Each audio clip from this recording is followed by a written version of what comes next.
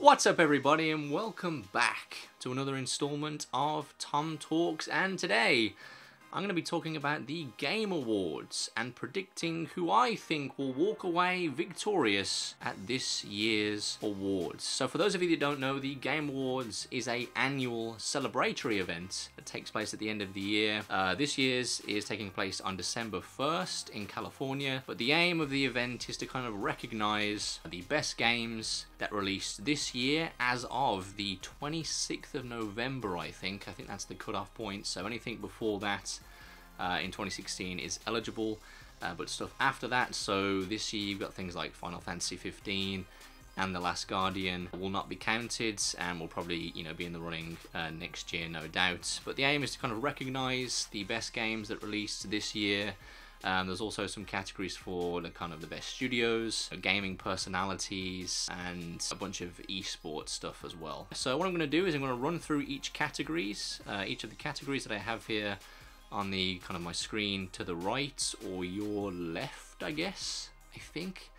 Uh, and I'm basically going to run through and kind of predict uh, who I think is going to walk away victorious. But uh, I'm going to immediately rule out before we start uh, the categories of best esports game, uh, best esports team, and best esports player, and probably as well best strategy game and best sport stroke racing game. I guess I could do best sport stroke racing game, but I have no knowledge of those categories at all. So I'd be basically stabbing in the dark uh, and kind of plucking a name out of a hat. So, you know, on that basis, I'm not going to talk about those categories because I have absolutely no idea.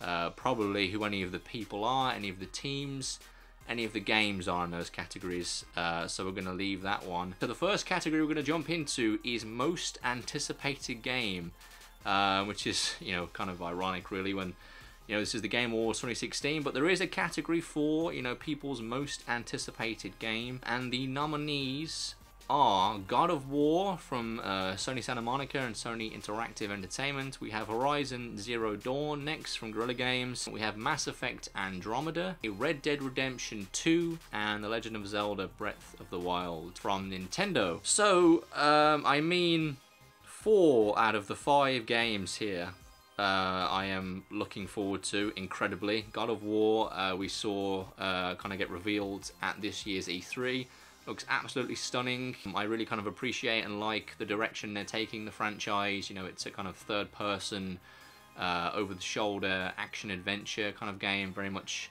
I think it looks very similar to the likes of the uh, rebooted Tomb Raider games in the sense that it's not really open world, but you're kind of uh, being funneled down this linear path, but there are kind of uh, you know, expansive environments and stuff for you to discover. You know, really taking the franchise in a new direction. Um, you know, you play as Kratos, but you, you, you have your son alongside you, so it's you know they seem to be um, you know packing the story with a lot more emotional weight and really kind of fleshing out and developing Kratos' character beyond this angry uh, dude who wants to kill gods and stuff. um, so that looks great. Horizon Zero Dawn from Guerrilla Games again is another kind of um, uh, an interesting uh, kind of direction in the sense that Guerrilla Games, you know, have been known uh, to make, you know, Killzone.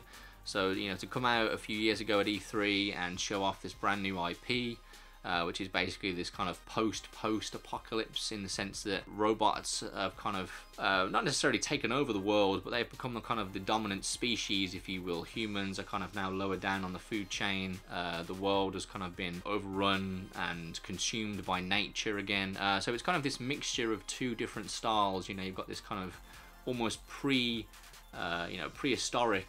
Um, kind of aesthetic in the sense that you know there's cavemen and cave women and you know nature and all stuff like that but you know that's kind of fused with you know sci-fi and future and technology. So it's a nice kind of amalgamation of two different styles. Uh, third person action game looks great.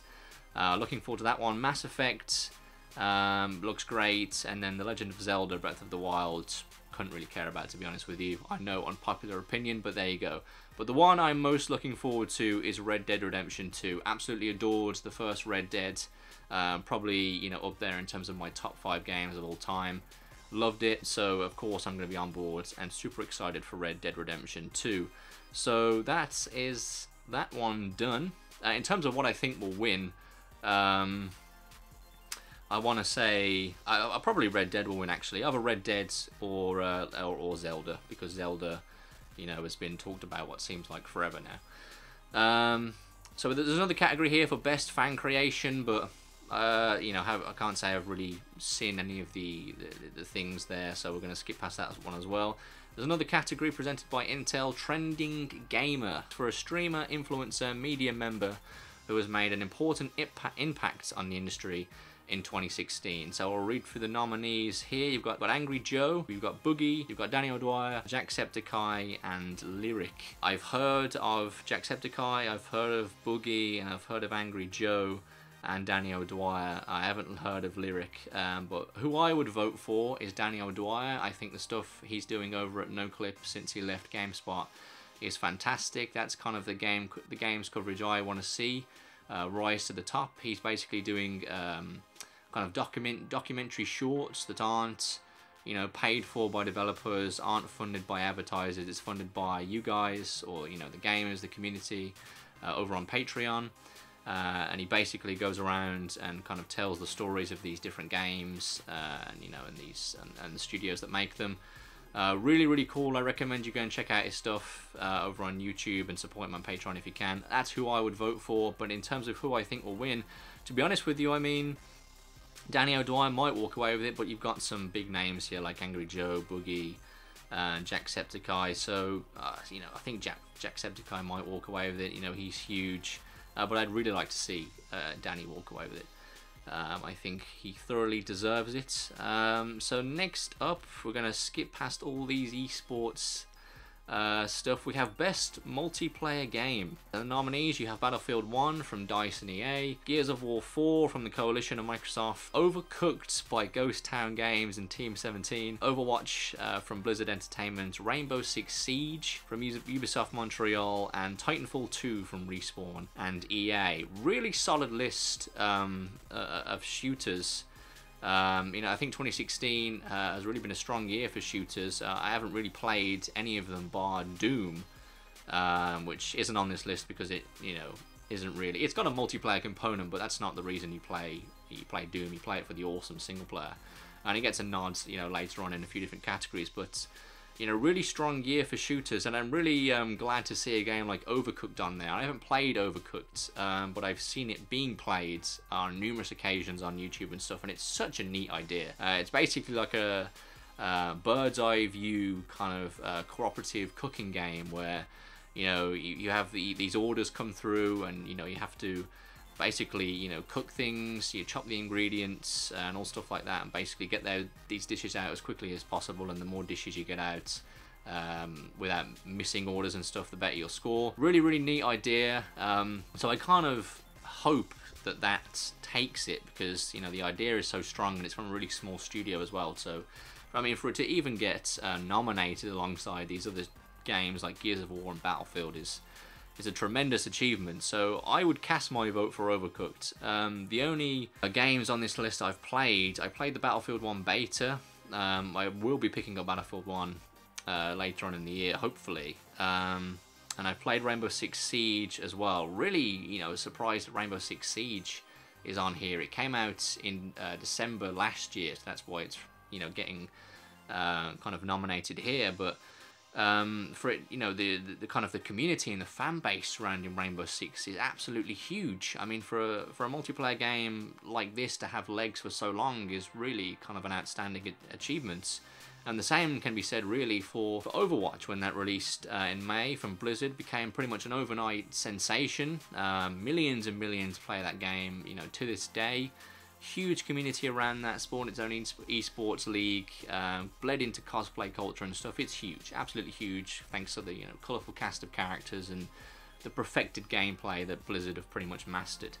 Um, so, I mean, any one of these uh, games could walk home with a prize. I would vote for Overcooked, but what I think will win is Overwatch. I mean, that game is absolutely absolutely huge. Best strategy game was skipping over. Best family game. Nominees are Dragon Quest Builders, uh, Lego Star Wars The Force Awakens, Pokemon Go, uh, we have Ratchet and Clank, and then Skylanders Imaginators. Um, I have played Ratchet and Clank, played Pokemon Go, and Lego Star Wars The Force Awakens. Haven't played Dragon Quest Builders um, or Skylanders. In terms of what I think, in terms of what I'd vote for, um, I really enjoyed Ratchet and Clank, and that's a phenomenal game. That's in there, kind of as one, one of my best games of the year. Really, such such a fantastic game. Um, Pokemon Go, I'm struggling to see kind of the family element. I guess you know you could take your kids around, catching all these Pokemon and stuff. That seems like the obvious winner, just because how huge Pokemon Go uh, was this year. Um, and I, it probably might win it uh, in, that regard. But I, I kind of feel like the Lego games have always stood out in terms of you know uh, being you know, great family games. Um, they are kind of pick up and play. You know, you've got the charm uh, and the humor of, of, Lego. You know, really you know simplistic to to wrap your head around and stuff. Um, I played Lego Star Wars: The Force Awakens and thoroughly enjoyed it, and I'm you know probably way too old to play a game like that. But you know, then again that's the beauty of uh, Lego games is you know they, they, cater for the younger gamers and also kind of the more uh, older gamers as well. Um, so I'd vote for Ratchet and Clank, um, but uh, you know either Pokemon Go or Lego Star Wars could walk away with it. Um, Pokemon Go will probably walk away. It might. I don't know. If Lego Star Wars or Pokemon Go. If I had to put money on it, Pokemon Go, just because of how huge uh, Pokemon Go was this year. So next up we have Best Fighting Game. This is another category I can't can't really contribute to uh, in any way at all. I don't play fighting games. I absolutely suck at fighting games, but I appreciate uh, the fighting genre and the people that are absolute masters, masters and wizards uh, at fighting games. It's just an absolute uh, kind of marvel to watch these people kind of put and bash and do all these combos and stuff. All power to you, but I absolutely suck at fighting games. Uh, best role-playing games, and the nominees are, we have Dark Souls 3, Deus Ex Mankind Divided, The Witcher 3 Wild Hunt Blood and Wine, uh, World of Warcraft Legion, and Xenoblade Chronicles X. Really strong list. Um, Dark Souls 3 gets a nod here, and surprisingly doesn't get a nod uh, in some other categories. Um, so in that regard, I think it could well take away an award there because you know people might feel like they've got to give Dark Dark Souls 3 something, right? And that's not a knock. That's not a knock against Dark Souls 3. I haven't played it, but um, from what I've seen and heard, it's a it's a fantastic game. Um, Deus Ex: Mankind Divided. I played Human Revolution. Uh, intended to pick up Mankind Divided, excuse me, at some point, but uh, just haven't really got around to it. The Witcher 3 uh, Wild Hunt Blood and Wine. Um, I haven't played, but I recently started and jumped into The Witcher 3 and uh, absolutely fell in love with that game. Uh, I think it's it's amazing. One of the best uh, RPGs I've ever played. Uh, World of Warcraft Legion and Xenoblade Chronicles X, uh, no idea. I mean, obviously, World of Warcraft is huge, um, but I kind of feel like um, I would vote for The Witcher 3, Wild Hunt Blood and Wine, but I think Dark Souls 3 will get it on the basis that it's not nominated for. Um, I don't think it's nominated at all in any other categories coming up. It might be in one more. Um, but I kind of feel like on, on that basis, you know, people will probably feel like they've got to give Dark Souls 3 something because it would be a crime not to. Best, best action adventure game. so the nominees for this uh, category are Dishonored 2, Hitman, uh, Hyper Light Drifter, Ratchet and Clank, and Uncharted 4, Thief's End. I have played Uncharted 4, Ratchet and Clank, um, and that's about it. Uh, I intend, well I played Dishonored 2 in a Let's Play that went up uh, recently. Um, I'm going to get back to that game eventually uh, after university and stuff quiets down. Hitman, I kind of wrote off Hitman when it was first announced. I really didn't get this whole kind of episode episodic and season kind of structure they were going for. So basically, they were releasing kind of uh, almost in like a um, a Telltale style. They were releasing kind of one uh, huge mission after the other, basically, and I kind of didn't you know didn't get that at all. But you know, thinking about it uh, in hindsight, it's actually kind of an ingenious idea because you know in a way they have kind of um, built up more built up more of a discussion around the game. Uh, a lot of people might, like myself, might have written it off uh, immediately, but you know, as it's released throughout the year, when it's a bit more, you know, quieter and stuff, people have thought, oh, you know, maybe I'll give Hitman a try, pick it up, and then fall in love with it, uh, and then kind of, you know, it's almost like a snowball effect, and it just begins to to pick up traction and stuff.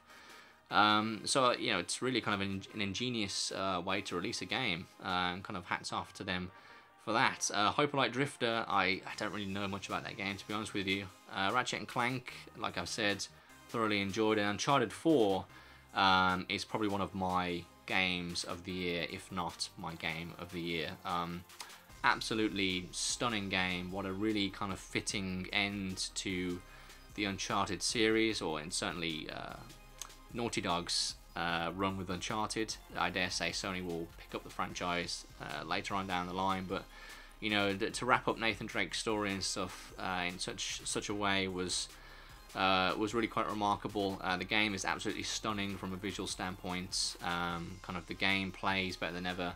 The way they kind of opened up the environments and you know gave you more kind of player agency to tackle it stealth or going guns blazing and kind of the level design to accommodate that was really really strong. And the story was kind of gripping from from start to finish. The performances were were stunning and it, it didn't contain as many kind of standout action sequences um, than, than previous uncharted but that's really not this one was a not what this one was about. It was about the story and the characters and really kind of having uh, these relationships um, kind of tie off and stuff like that. Um, that. That was really kind of the heart of the game this time around. And I guess it, it's always been the heart of Uncharted, but you know this one especially because it was you know bringing the story to an end and stuff. Um, it really kind of really really kind of hit home. Um, so I would give my vote to Uncharted, and I think Uncharted will win Best Action Adventure Game because it talks about traversal combat and puzzle solving, which Uncharted does, and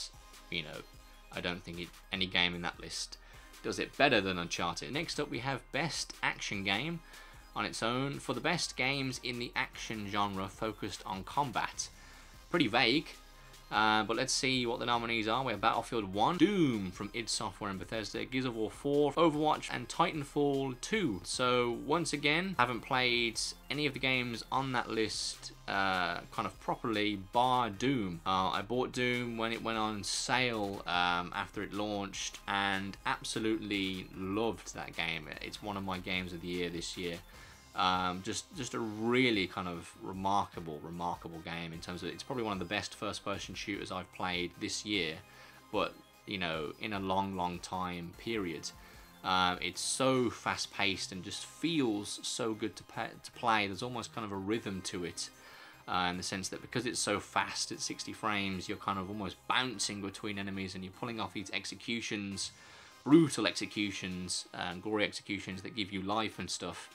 Um, so you may take damage going to the execution, but then you get life, kill people, and you're, you're just bouncing between different enemies, and there's such a fluidity um, to the combat, and you know the soundtrack as well is just like so kind of punk rock and headbanging. It's just it's a really really awesome like awesome game. Um, and what I, um, probably what a lot of people felt when they played the original Doom uh, way, way back in the day. Um, so on that basis alone, um, I would I would give it to Doom because in terms of uh, the game that I think does action the best, I know I haven't played um, the other games, but you know I've played Gears of Gears games in the past, so I kind of know and know how they play and feel. I haven't played Overwatch. Um, I played the first Titanfall at a friend of mine's house, and I understand that that does kind of free running and parkour very very well uh, in a, in a first person shooter. And I've played Battlefield 1 in the beta, um, but I really think Doom should take this one home because in terms of a uh, in terms of the action, I mean, it's just so it's so non-stop, it's so visceral, it's so um, kind of engaging and just so so well done um, that I think it should take uh, that one away. So that's best action game. Next up, we have best VR game. This is kind of another category that I really have no uh, kind of nothing to chime in with, uh, really, but I'll kind of run through the nominees quickly. Batman Arkham VR, Eve Valkyrie, Job Simulator, Rez Infinite, and Thumper. Um, I've kind of been following what people have said about PlayStation VR. I put down a pre-order for PSVR very late. uh, with the intent on, on buying it in December and January and stuff when they when they you know became available and stuff because they were you know selling out uh, and things like that and they you know had, didn't have any more kind of launch uh, you know headsets and stuff I guess um, but I did get a, a, text and a call a few weeks after it launched and said hey you know some people haven't you know followed through with their pre-order one's available. So I thought oh great I'll pick one up and then realized that the room I'm in um, is such like so small you know, I'm literally only a few a few feet away from my TV that it simply wouldn't work. I'd be hitting off the walls and stuff like this. You know, trying to set up the PS, you you're trying to use the PSVR. So I I had to cancel my pre-order and get my twenty pound back. Um, so maybe later on down the line when I have kind of a bigger uh, place, I guess. Uh, I'll be um, there might be like a new model out by that point and stuff. Uh, I'll pick up PSVR. Uh, but from what I've heard and stuff um, from people that have PSVR and have played these games, I mean, Batman Arkham VR uh, seems like the game that you would show to people that don't know what VR is, that haven't played VR before. Uh, you, you would say, look, play this, and that'll be the game you'd want to show them. Much like when the Wii came out, you know, you'd put on Wii Sports or something and say, here, look, this is what the Wii is and does.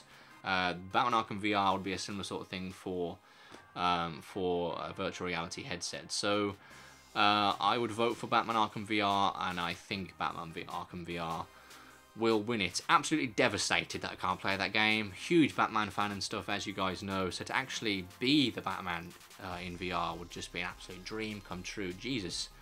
So devastated I can't play that bloody game. Best mobile and handheld game. Uh, the nominee, I'm going to run through this one very quickly because I think the winner is, uh, you know, clear as day. Clash Royale, Fire Emblem Fates, Monster Hunter Generations, Pokemon Go, and Severed. Um, I've played both Severed and Pokemon Go. The other games in the list I have not played. Uh, I really enjoyed Severed. I played it on the PlayStation Vita.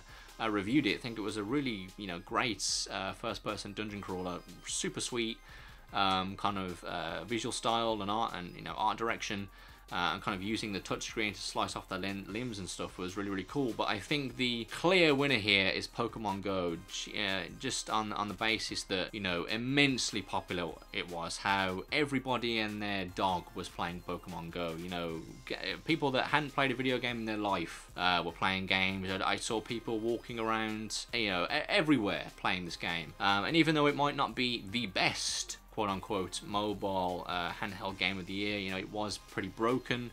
Uh, there wasn't a lot to the game, but I just feel like it was such uh, a phenomenon that it has to it has to win, right? So I would vote for Pokemon Go.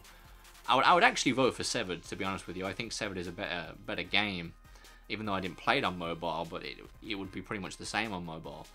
Um, but I think Pokemon Go is the winner there. Best independent game, the nominees are Firewatch, Hyper Light Drifter, Inside, Stardew Valley, and uh, The Witness. I have played only uh, Firewatch on this list. I intend uh, to play Inside towards the end of the year because what I've heard from Inside is that this it's this absolute masterpiece. Just came out of nowhere, completely took everyone um, by surprise. This is the uh, the game, uh, the next kind of game from Playdead who did Limbo, I believe. So obviously Limbo was another critical darling and people thought, um, you know, didn't really, I guess, expect them to come out with a game that was better than Limbo, but uh, Inside took everybody by surprise. It, it, was a game that apparently is just so well made in terms of animation, in terms of, um, you know, everything in the world has a purpose, in terms of the, it tells a very uh, fascinating and interesting story, but has such a an open-endedness to it in terms of you can you can interpret it in multiple different ways. Um, it's just meant to be a really, really special game, so I do intend to get to that uh, eventually. Um, so, uh, I mean, in terms of Firewatch, I absolutely adored Firewatch. Um, I know a few people that I follow in the industry and stuff uh, didn't really kind of gel with Firewatch as much as I did, and I completely don't understand why. I think um, the art direction in that game, first of all, is, is stunning. Uh, it's absolutely beautiful. It's almost like um, a, a kind of a watercolor painting, almost. Um, and I think the story itself was really engaging. The performances uh, were were kind of uh, mesmerizing, really, and they get a nod uh, later on down the line in terms of best performance in the best performance category. Um, I just think it was a really special game. Um, I really enjoyed it, um, so I would give my vote to to Firewatch, but I think Inside will walk away with that just because of how kind of universally loved uh, that game was, and Firewatch as well was to a certain extent. But I mean, Inside just completely blew everybody away. I mean, I was I was seeing tens across the board. So moving swiftly on, we have Best Performance, which I mentioned just a while ago, and the nominees are Alex Hernandez as Lincoln Clay in Mafia 3, uh, Cissy Jones as Delilah in Firewatch, Emily Rose as Elena in Uncharted 4 Thief's End, Nolan North as Nathan Drake in Uncharted 4, Rich uh, Sommer as Henry uh, in Firewatch, and Troy Baker as Sam Drake in Uncharted 4 A Thief's End. Now, it goes without saying that Emily Rose, Troy Baker, and Nolan North did absolutely outstanding jobs as their respective characters in Uncharted 4. Um, like I said earlier, the kind of the heart and what I think everybody plays Uncharted 4 for is the story and you know these characters and their story and their relationships. And once again, uh, these guys did a uh, 10 out of 10 uh, job. Their performances are incredible. So any one of them could walk away with it. I think probably Nolan North has a better shot at winning. Uh, in the sense that people might think it's kind of a nice, uh, he should win it because you know Uncharted 4 is coming to an end. It's the end of Nathan Drake's story, blah blah blah. But I would actually um, uh, before that, actually, Alex Hernandez as Lincoln Clay in Mafia 3. Playing through that at the moment, even though that game is disappointing, uh, the best part about it is the story, and obviously that is driven, and the heart of that is uh, Alex Hernandez uh, as Lincoln Clay. He does a great job. I haven't played uh, through the rest of the game yet, but uh, he is doing a kind of sensational job um, in it at the moment um, as I'm playing it. So he I mean, he has. A, I don't think he has a chance, but that's not knocking his performance uh, at all. Uh, it's great. But in terms of who I would give my uh, give the, the, who I would vote for and who I think will walk away uh, victorious in this category is um, Cissy Jones as Delilah, um, and I think Rich Rich Sommer um, has an equal chance um, of winning. Uh, really, or you know, I would give I mean, it's hard to to, kind of cast um, my vote um, in this one because both of them do such a fantastic job um, in terms of performance. Um, even though you don't see these characters, um, you only hear them. You know, you play the game from a first-person perspective. That there's something about the writing. This is going to sound very cliche, but there's something about the writing and the performances that make the whole thing seem so real. Um, there'll be a few instances instances in the game where there are dialogue options, and just some of the dialogue op options uh, that you have and the way um, they deliver them just makes the whole thing feel so real. Like there's nothing fantastical about it. It all feels very real, very grounded. Um, and the performances are just really, I didn't, didn't expect them. I mean, they have no right being that good, to be quite honest with you um, in in an independent game, um, which is not knocking independent games at all. But you know, you you what I'm saying is you would expect performances like this to be in you know a AAA uh, blockbuster game. Um, so that that really took me by surprise, and the performances are splendid in that game. Uh, but in terms of who is the better at the two, it's really tough to say. But I, I would give it to um, Cissy Jones as Delilah. But who I think will win, um, I think Nolan North will win uh, as as Nathan Drake, on the basis that you know it's the end to Uncharted, and I, I don't think he's won uh, an award for best performance. Nolan North, I could be wrong.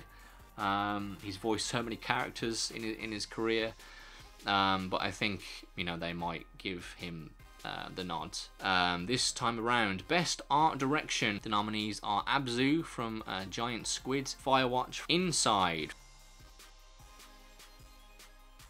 Overwatch, Uncharted 4, Thief's End. Um, so in terms of what I think will walk away with the award, it's between Firewatch and Inside here. Um, like I said, I haven't played Inside, but I've seen kind of uh, the game's aesthetic and stuff from you know brief screenshots and trailers and things. Um, Firewatch, I think, is a, is an absolutely stunning game, uh, beautiful in its own right, in its own kind of art direction. Um, I would vote for Firewatch, but I think Inside will take home um, the prize here for Best Art Direction. Moving on, we have Best Narrative, and the nominees are we have Firewatch from Camposanto, Inside from Playdead, Mafia 3 from Hangar 13 and 2K, Oxenfree from Night School Studio, and Uncharted 4 A Thief's End. Uh, played Uncharted, playing through Mafia, haven't played Inside, played Firewatch. Um, Mafia 3, I really think the story is fantastic, um, but what you have to do to get to the story, the really monotonous gameplay, um, I know it shouldn't affect the story because you're judging, you know, there's just the story on its own, but I think that impacts it somewhat for me personally. I think that somewhat diminishes the story because the amount of um, kind of shit you have to go through, really, if I'm being quite honest with you, from a gameplay standpoint, to get to the good bits, in, uh, which is the story, um, is just so kind of tedious and long winded that it somewhat diminishes how fantastic the story is in Mafia 3. So, in that regard, I wouldn't vote for it, and I don't think it will walk away victorious. Uncharted 4 is has a fantastic story, um, and like I said, it rounds out um, the the franchise and Nathan Drake's story um, superbly. Um, but like I said previously about Inside and how fantastic Firewatch is, um, I think because Inside um, is so open to interpretation and it's such a unique story an idea and it completely took people by surprise and people didn't know how um, what to think about it. I you know there was discussions about this game um, both kind of online in publications and in podcasts and stuff and between uh, people in the industry for for so long. I feel like the narrative and stuff had such a profound impact on people it will walk away uh, victorious here in the category. I would give it give it to Firewatch because I was impacted personally um, um, very, very deeply by Firewatch's story. Um, so I, I, would give it to Firewatch, but I think Inside will walk away um, victorious. So we have the last two categories here. Apologies, this video has gone on for a lot longer than I expected, to be honest with you, but um, we have the final two categories here, uh, which are Best Studio. Now, um, you would expect that whatever wins Game of the Year, the studio uh, behind that game, you would, you would think would win Best Studio uh, and Game Direction because, you know, they made Game of the Year. Um, basically. Uh, but we're going to start off with Best Studio and Game Direction regardless. Uh, uh, and the nominees are Blizzard for Overwatch, DICE for Battlefield 1, id Software for Doom, uh, Naughty Dog for Uncharted, Thor, Uncharted 4 Thief's End, and uh, Respawn for Titanfall 2. Really kind of solid uh, and respectable and extremely talented studios here in this list for, you know, for creating um, some of the year's best games. Um, obviously, Naughty Dog, absolute masters of what they do. Um, id Software kind of released this critical darling in Doom, really. Um, kind of Doom had a troubled uh, kind of production uh, process, and a lot of people thought this game wasn't going to be very good because uh, kind of re- review copies weren't being sent out sent out until either the day before release or on, or on the day, and that's typically a bad sign. Uh, and you know, this game was originally meant to be Doom 3 uh, and what have you. Uh, but this game came out and I think in a way took people by surprise and was just an absolutely spectacular game. Uh, and obviously Dice um, took a big risk really, taking Battlefield back to World War One. Uh, there was that great article that came out uh, earlier in the year that said that in kind of the executives at EA weren't initially behind Battlefield One because they didn't think a lot of people would know that World War One happened or that it existed. that it took place, um, which I found quite funny. Uh, but they did it. They took it in that direction, and in a in a way, in a very ironic way, it was very refreshing to see uh, first-person military shooter go back to that era. So, um, kind of hats off to them for doing that. And apparently, the single-player campaign is really strong in this, which is kind of a first for Battlefield since Bad Company 2, I want to say. And obviously, you have Blizzard here, which released the absolute phenomenon, global phenomenon that is Overwatch. Um, and in that sense, uh, I think we'll leave that one uh, for now. I'll move on to Game of the Year and list those, and then we'll kind of do these two um, final categories in kind of one chunk, if you will. Game of the Year, recognising a game that delivers the absolute best experience across all creative and technical fields. You have Doom from id Software, Inside from Playdead, Overwatch from Blizzard, Titanfall 2 from Respawn, and Uncharted 4 Thief's End from So obviously Inside uh, is on this list, but Playdead isn't uh, recognised in the best studio and uh, kind of direction or whatever it was. And the reason I point that out and the reason why I think that's important is I think Inside will walk away with Game of the Year 2016. Um, like I said, I haven't played Inside, so take my opinion with a grain of salt, I guess. But I think, for the reasons I've listed, um, you know, in this video, I think Inside was such a critical darling. You know, regarded as such a special, unique, uh, and creative game. Um, uh, kind of a really kind of stellar game from a narrative, gameplay, art direction. You know, from multiple standpoints, really. That I think it's one of those kind of indie darlings that will walk away uh, with Game of the Year. I would personally vote for Uncharted 4. I mean, just because really it's the only game. I mean, I played Doom as well, but I think out of Doom and Uncharted 4, I think Uncharted 4 um, is, the, is the better game in my opinion. Um, I mean, but Blizzard has, I mean, Overwatch has equally as a stronger chance as winning Game of the Year uh, on the basis that it's just so, so huge uh, and will be played in years and years to come.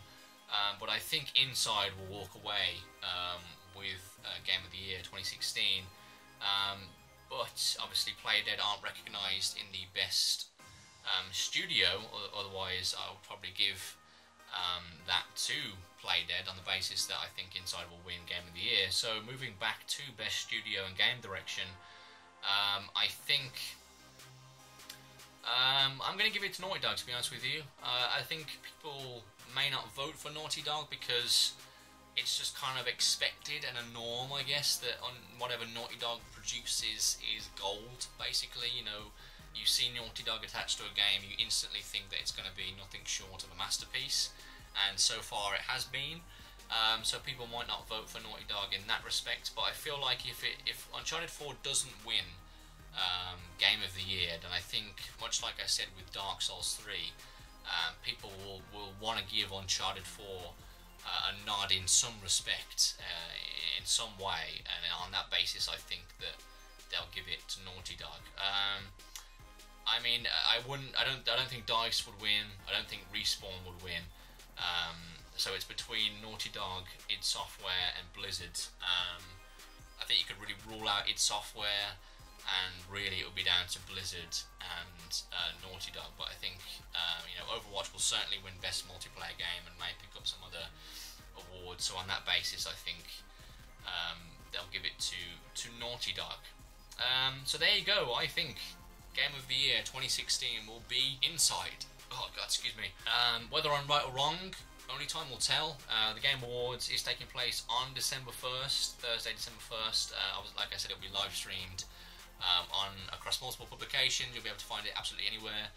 Um, it's going to be really interesting. Uh, I've watched these every year. Um, I think it's really cool to see games and stuff and studios and stuff be recognised for their work. Uh, it's really cool to kind of see the exclusive gameplay reveals and stuff as well. I'll be putting up my personal um, top five games of 2016 a bit later on in the year when I've caught up with some of these games on these lists um, that I've missed things like Inside and you know some of the shooters and stuff as well. Because um, at the minute I've played a few games, but I certainly uh, have a a notable gap um, in the games I've played this year. So I'll you know I'll dive into those later on in the year when university has, has quieted down and stuff over the Christmas period. Um, but yeah, those have been uh, my predictions for the Game Awards 2016. Let me know in the comments below what you guys think uh, will be Game of the Year 2016 and what games you think will uh, win um, in these categories. Thanks for sticking around for this one. Uh, it's been somewhat long-winded. Um, I didn't want to just rattle through them, you know, and just say, oh yeah, uh, Uncharted's going to win this, Doom's going to win this, blah blah blah blah. You know, obviously wanted to go into a bit more detail as to why. Um, so hopefully you've enjoyed this video. If you did, please like, share, and subscribe. And until the next one, folks, take it easy.